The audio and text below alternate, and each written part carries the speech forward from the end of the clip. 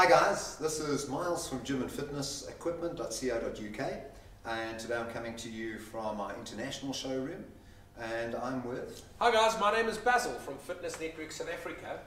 Got Miles here and he's going to explain what accessories come with the Monster G12. Okay, so Basil, this is uh, a relatively new piece of equipment, um, the, the G12. Um, so a lot of questions I've had from people uh, up until now, the G6 was the, the big unit Yes, in the UK yes. and now we have of course the G9 and the G12. Correct. So um, let me take you through a couple of these accessories that we see. Perfect. So number one, probably the most uh, famous and well-known uh, bar for a functional trainer. By the way, the G12 is a combination of three machines. For those of you that, that don't know the unit, um, it is a combination Smith machine, Counterbalanced counterbalance, yeah, that's right, which means that the bar itself is weightless. is weightless. Okay. The, it has a functional trainer, which are these dual adjustable pulley arms connected to a weight stack at the Yeah. back. Okay. And these are independent weight stacks, of course, aren't they? Correct. So yes, you can have two different people doing different exercises at the same time. Correct. Okay. And it's a power rack. That's the third option that Miles was going to mention. Absolutely. So three machines in one. We don't have the barbell on this at the moment for the power rack because we want to show you how everything else works.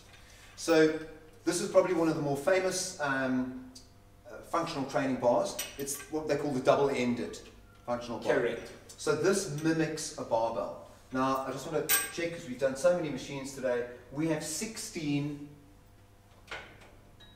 adjustment points for the functional trainer. Correct. So whenever we're talking about the power racks and the functional trainers, there are two sets of adjustment points. One is for the power rack, one is for the functional trainer. Correct. So at the moment, we're, we're talking about the functional trainer. Correct. So that means that you've got that number of adjustments to mimic a barbell And to get you, your angles that you want. Okay, which is far more than, for instance, an adjustable bench which has seven angles. Correct. Okay, so this mimics everything from being able to do a squat, you can do calf raises, shrugs, um, numerous rowing movements, Deadlifts. Assisted chin-ups. So anything that you can do with a barbell, you can do with a functional press. trainer and you do it with this bar. Probably the next most popular one is the uh, short bar. Short bar, yeah, which So you can can- use for biceps or triceps or rowing. So biceps, triceps, rowing, um, overhead triceps, so any type of movement that you'd be using a short bar for. That is not double-ended, that is standard cable attachment in the center like that. Then we've got two nylon handles. We I still call them D handles, but they're nylon handles with adjustments, which you can make shorter as well. So that's lovely for one arm exercises or two arm exercises. Very, very great idea because I mean, just with this one handle, shoulders, biceps, triceps. So triceps. you can mimic anything that you would do with a Dumbbell. dumbbell.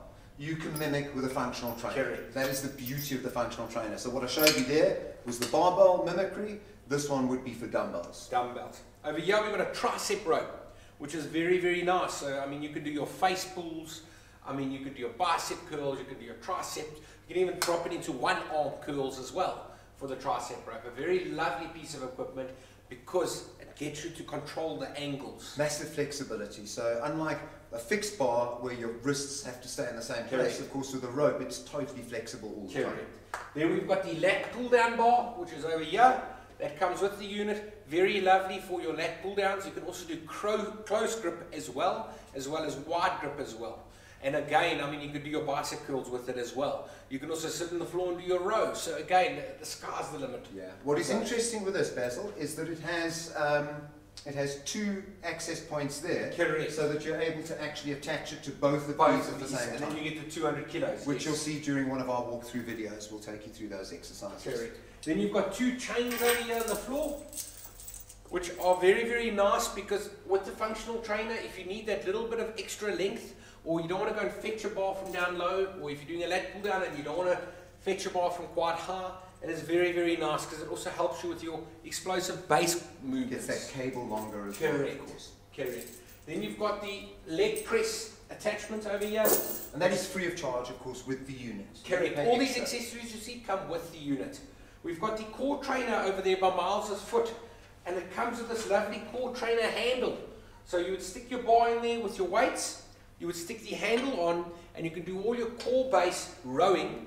You can take the handle off, and you can do all your explosive work as well. Yeah, proper cool. And that, that is a multi um, Multi grip. multi grip handle. So this this for me is quite unique. Correct. Uh, it's a, yeah, very very nice addition.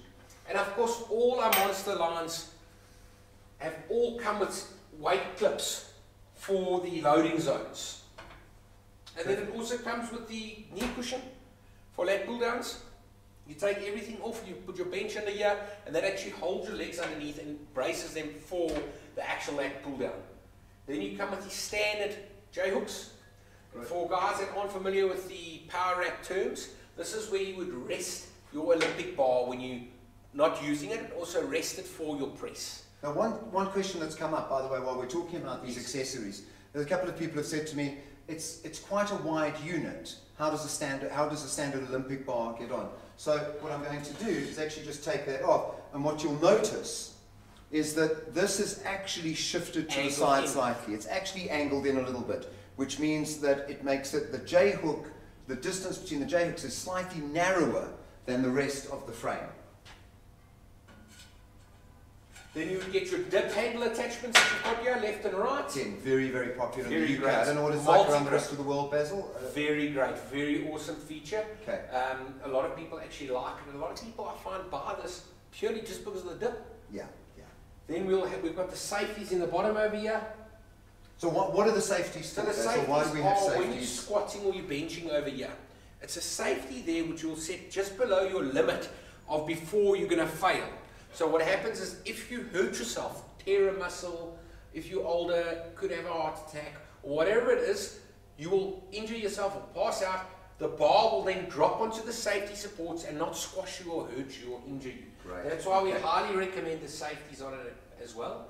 A really lovely machine, all in one package combo on the G12. Yeah. The nice thing that I love about the G12 is the fact that it's a counterbalance Smith machine.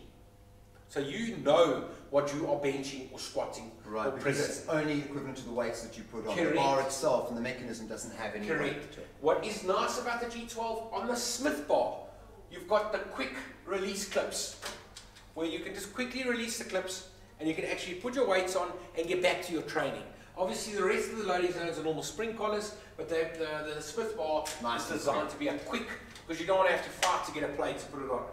So the only things that you'd need to buy um, over and above this would be the weight plates, which if you'll notice on any of our Force USA, um, either the Fitness Network or the Gym and Fitness Equipment.co.uk site, is that there are packages that include weights and include a bench.